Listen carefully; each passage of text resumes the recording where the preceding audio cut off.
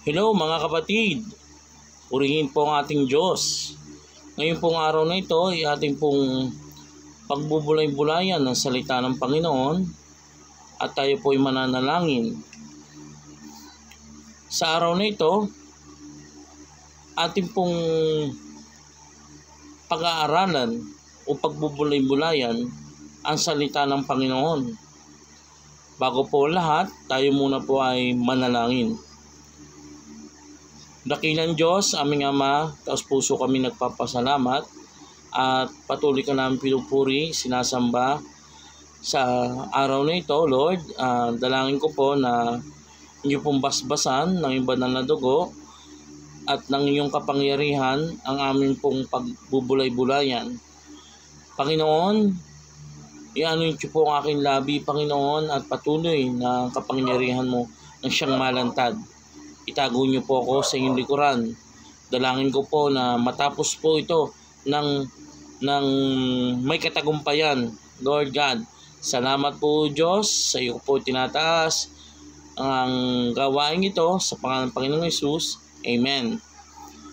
Ang paksa po natin sa araw na ito ay pagsabay sa pagkilos ng banal na espiritu nang makasama sa pagdagit o pag-uwi ng mga hinirang ng Diyos. Amen.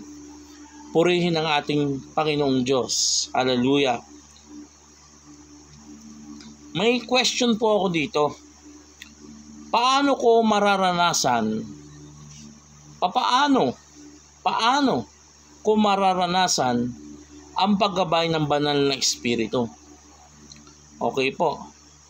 Bago si Jesus po umakyat sa langit, sinabi niya sa kanyang mga alagad na padadalhan niya sila ng isang magtuturo at gagabay sa lahat ng mananampalataya. Ang pangakong ito po ay ang banal na espiritu. Natupad nga po ang sinabi ng Panginoon. Mayigit isang linggo noong dumating ang banal na espiritu na may kapangyarihan sa araw ng Pentecostes. Ngayon, sa oras na manampalataya kay Kristo ang isang tao, agad nananahan sa kanya ang banal na espiritu at nagiging permanent, permanenteng bahagi siya ng kanyang buhay. Amen. Once na hingin mo po ang pananahan ng banal na espiritu sa iyo, magiging permanente bahagi ng iyong buhay. Maraming gawain po ang banal na espiritu ng Diyos. Hindi lamang po siya nagbibigay ng kaloob ayon sa kanyang maibigan, kundi inaaliw din niya tayo. Tinuturuan niya tayo at nananahan siya sa atin bilang tatak ng pangako ng Diyos. Amen. Bilang tatak po ng pangako ng Diyos sa ating puso hanggang sa muling pagparito po ng ating Panginoong Hesus. Sabi po yan sa aklat po ng uh, Epeso 4 talata 30 po, 30. Ang banal na espiritu ay nagsisilbi ding gabay at tagapayo na nagpapaalam sa atin kung anong ating gagawin. Amen. Kung ano yung gagawin natin, meron tayong pangunguna ng Holy Spirit. Siya yung kumikilos, gumagabay sa ating buhay.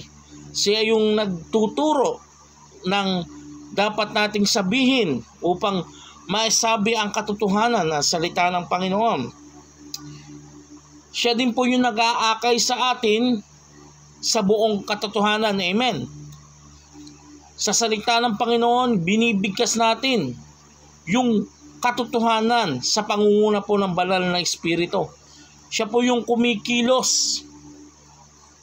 Siya po yung nagbibigay ng karunungan na sagana upang sabihin natin yung katotohanan ng salita ng Diyos. Amen. Hanggang sa wala hanggang sa hanggang sa pagparito ng ating Panginoong Kristo.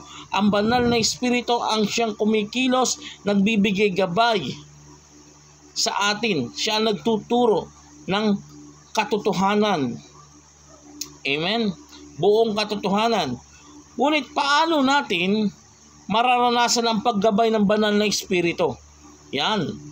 Paano natin mararanasan ang paggamay ng banal na espiritu?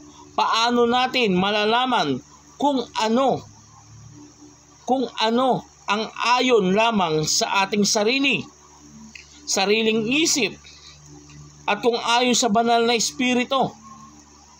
Hindi nagsasalita ang banal na espiritu sa pamamagitan ng tinig, narinig ng tenga. Sa halip, ginagabayan niya tayo sa pamamagitan ng konsensya, conviction ng Holy Spirit. Sa halip, ginagabayan, ginagabayan niya tayo sa pamamagitan ng kanyang konsensya at sa isang tahimik at mahiwagang pamamaraan. Amen. Ang isa sa mahalagang pamamaraan upang maranasan ang paggabay ng banal na espiritu ay maging pamilyar, pamilyar sa salita ng Diyos. Amen. Dapat alam mo yung salita ng Panginoon. Maging pamilyar sa salita ng Diyos. Ang Biblia, ang pinakamataas na pamantayan, ang salita ng Panginoon, na pinagmula ng karunungan. Yung Word of God, pinagmula ng karunungan at katotohanan na dapat nating ipamuhay. Sabi nga sa 2 Timothy 3.16 at dapat nating saliksikin saliksikin ng, panan, ng mga mananampalataya ng mga mananampalataya ang salita ng Diyos. Amen. Pagbulay-bulayan niyon at isaulo. Ang salita ng Diyos ang tabak ng Espiritu. Amen.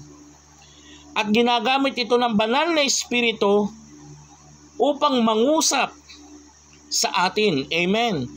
Ang salita ng Diyos ang ginagamit ng banal na Espiritu upang mangusap sa atin. Ito yung tabak ng Espiritu, yung Word of God. Amen. At ginagamit ito ng banal na Espiritu upang makngusap, upang kung ano yung sabihin ng Diyos sa pamamagitan ng salita ng Diyos. Siya yung mangungusap sa ating buhay. Siya yung kikilos. Amen. Sa tulong ng kapangyarihan ng banal na Espiritu, paiintindi sa atin ang sinasabi ng Word of God, ng salita ng Diyos at ipaalam ang kalooban at ipaalam ang kalooban ng Diyos sa ating mga buhay. Ano yung kalooban ng salita ng Diyos sa atin? Tinutulungan tayo ng banal na Espiritu. Ipinapaalala din niya sa atin ang mga talata sa Biblia sa panahon na kailangan, kailangan natin yun. Amen. Sa tulong ng banal na Espiritu, sa bigay niyang saganang karunungan, ipinapaalala po ng banal na espiritu yung mga yung mga kailangan natin. Amen? Ang kalaman sa salita ng Diyos ang tutulong sa atin upang ating malaman kung ano ang ating nang malalaman kung ang ating nais ay nanggagaling sa Holy Spirit, sa banal na Espiritu ang kaalaman sa salita ng Diyos ang tutulong sa atin upang ating malaman kung ang ating nais ay nanggagaling sa banal na Espiritu. Dapat din nating timbangin, salain ang ating mga kagustuhan sa liwanag ng salita ng Diyos. Hindi tayo hihimukin ng banal na Espiritu na gumawa ng anumang bagay na sulungat sa salita ng Diyos. Hindi, hindi tayo to, hindi tayo sasabihin eh, ito ang gawin mo, sala. Hindi. Ang ituturo sa atin ng banal na Espiritu ay tama sapagkat ito ay galing sa Panginoon. Amen. Sabi nga, hindi tayo himukin ng banal na Espiritu na gumawa ng anumang bagay na salungat sa salita ng Diyos. Amen kung sumasalungat sa, sumasalungat sa Biblia ang ating iniisip at ninanais, hindi yun galing sa banal na espiritu. Amen. Hindi galing sa banal na espiritu kung sumasalungat. At hindi dapat pagtuunan ng pansin. Kinakailangan din natin, hello, kinakailangan din natin ang patuloy na pananalangin sa Diyos Ama. Amen. Sa tulong din ng banal na espiritu. Hindi lamang binubuksan ng panalangin ng ating mga puso at isip, kundi sa pangunguna ng Holy Spirit. Pangunguna ng Espiritu, kundi ito rin ang kasangkapan upang mangusap ang banal na Espiritu para sa atin. Upang mangusap ang banal na Espiritu para sa atin. Gayun din naman, tinutulungan din tayo ng Espiritu sa kanyang sa ating kahinaan. Amen. Tinutulungan din tayo ng Espiritu sa ating kahinaan. Hindi tayo marunong manalangin ng wasto, kaya't ang Espiritu ang dumaraing para sa atin. Sa parang di natin kayang sambitin. Amen. At ang Diyos na siyang nagsasaliksik sa puso ng tao, ang siyang nakakaalam kung ano ang kalooban ng Espiritu. Sapagkat ang Espiritu na namamagitan para sa atin para sa mga hinirang ayon sa kalooban ng Diyos. Amen. Sapagkat ang Espiritu ang namamagitan para sa mga hinirang ayon sa kalooban ng Diyos. Amen. Ang isa sa paraan upang malaman na sumusunod tayo sa pangunguna ng banal na Espiritu ay ang paghahanap ng bunga ng Espiritu sa ating buhay. Kung lumalakad tayo sa Espiritu. Patuloy nating makikita, makikita ang katangiang lumalago at nagpapatibay sa atin. At mapapansin din naman na ibang tao ang magbubunga ng banal na Espiritu sa ating mga buhay. Amen? Mahalagang tandaan na mayroon tayong kalagayan kung tatanggapin natin o hindi ang paggabay ng banal na Espiritu. Kung alam natin ang salita ng Diyos, at hindi natin iyon sinusunod, hinahadlangan natin ang pagkilos ng banal na espiritu sa ating mga buhay. At ang pagnanais sa sundin ang ating sariling kagustuhan ang pumipighati sa banal na espiritu. Hindi tayo aakayin ng banal na espiritu sa pagkakasala kailanman. Hindi po tayo aakayin ng banal na espiritu upang tayo magkasala. Amen? Ang pamumuhay sa kasalanan ang nagiging daan upang hindi natin maintindihan ang ang nais na sabihin ng banal na espiritu sa pamamagitan ng Biblia. Kung tayo nagpapatuloy sa kasalanan, hindi po natin mauunawaan, maiintindihan ang naisabihin po ng Holy Spirit. Amen? Mararanasan natin ang pangunguna ng banal na Espiritu sa pamamagitan ng patuloy na pagsunod sa kalooban niya. Paglapit sa Kanya at pagpapahayag ng mga kasalanan at patuloy na pananalangin at pag-aaral ng kanyang salita ng Panginoon ng kanyang mga salita. Amen? Purihin po ang Panginoong Diyos. Lumapit po tayo sa Panginoon. Hayaan mo na ang banal na Espiritu ang kumilos. Hayaan mo na siya magturo sa atin hanggang sa muling pagparito ng Panginoong Yesus. Amen? Hanggang sa pag-uwi ng mga hinirang, kasabay tayo. Amen? Patuloy lang tayong magpuri sa Panginoon. Patuloy na hingin na pagharian tayo ng banal na Espiritu ng Panginoon. Siya yung kumilos. Amen? Siya yung magturo ng lahat para sa atin. Ang katagumpayan na ibibigay ng Panginoong Heso Kristo bawat araw sa ating buhay. Ito lamang po ang may ibabahagi ko po sa inyo salita ng Panginoon. Paano ko maranasan ang paggabay ng banal na Espiritu. Amen? Pagsabay sa pagkilos ng banal na Espiritu nang makasama ang pagdagit o pag-uwi ng mga hinirang ng Diyos. Amen? Purihin ang Panginoon, palakpakan po natin. Tayo po ay manalangin. Dakilan Diyos, aming Ama, purihin ka, sambahin ka, maparangalan ka, Panginoon. Tunay po na ikaw ang Diyos na tapat. Ama, dalangin ko po sa mga oras na ito, patuloy na ikaw ang maghari sa buhay namin. Ikaw lamang po maitaas, mapapurihan.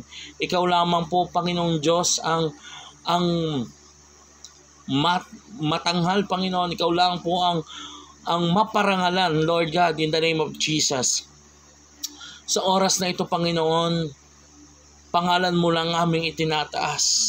Sa oras na ito, Panginoon, kami po ay nagpapakumbaba, nagsusumamo sa iyong dakilang pangalan. Panginoon Diyos, lumalapit ako ng may pagpapakumbaba. Patuloy na kayo, O Diyos, sa manghari sa mga sa puso ng mga tao.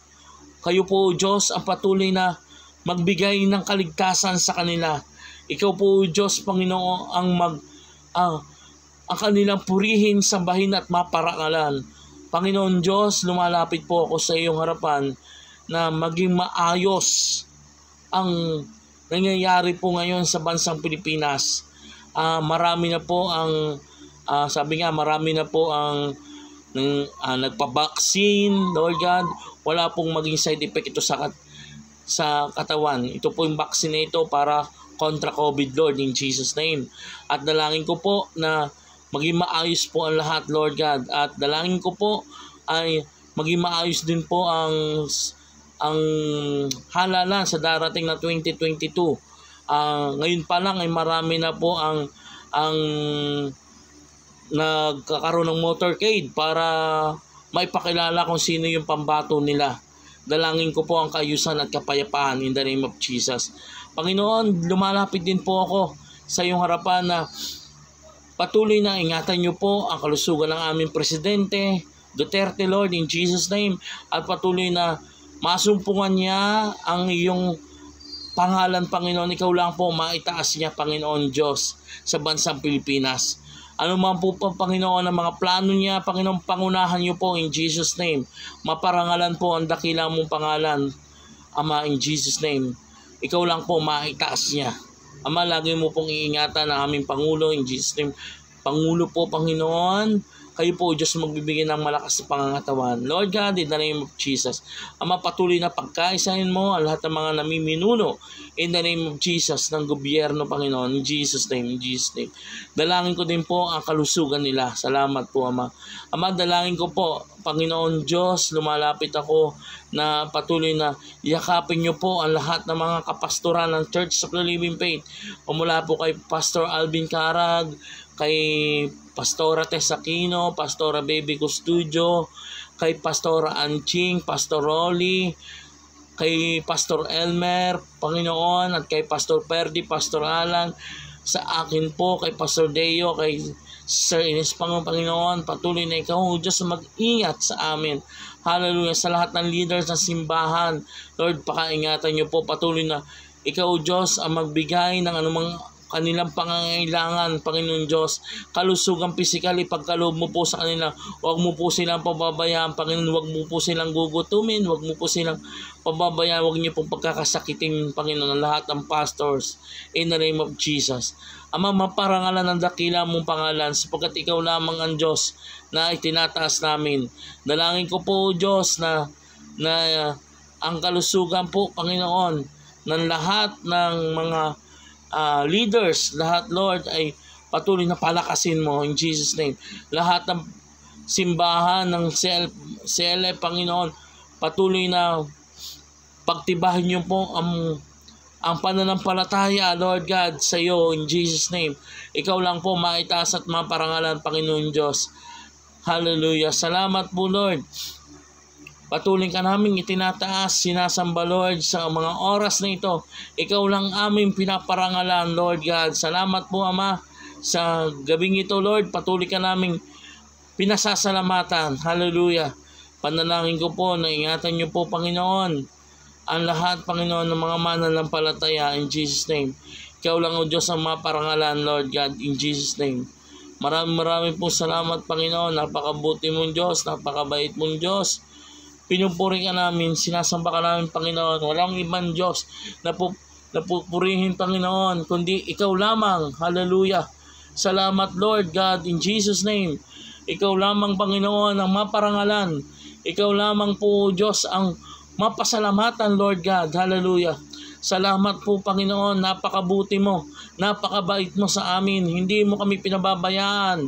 Panginoon, salamat po at hindi mo pinababayaan ang aming pamilya. Salamat, Lord. Hindi mo binibigyan ng sakit at karamdaman, Panginoon. Salamat, Lord, in Jesus' name. Huwag mo po kaming pababayaan, Panginoon. Huwag mo po kaming pababayaan, Lord. Ama, panalangin ko po, Diyos, na patuloy na pagtibayin niyo po ang aming pananampalataya, Lord, sa iyo. Ikaw lamang po maitaas at mapupurihan at mapasalamatan. Lord, patuloy kong pinapasalamatan sa iyo dahil ikaw, Panginoon, dahil hindi mo kami pinababayaan sa bawat araw. Ama, bigyan mo po kami ng sagana na pagpapala, Lord, ang bawat pastors ng seleb, pagpapalang rumaragasay, ipagkaloob mo po sa kanila.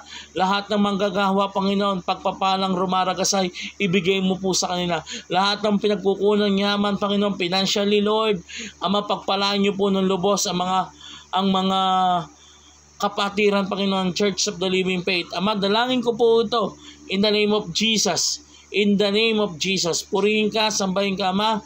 Salamat po, Ama, sa gabing ito ay patuloy ka namin itinataas, sinasamba, Panginoon. Maluwalhati ang dakilang mong pangalan sa pangalan ng Panginoong Isus. Amen and Amen. Salamat po. God bless you. In Jesus' name, Amen.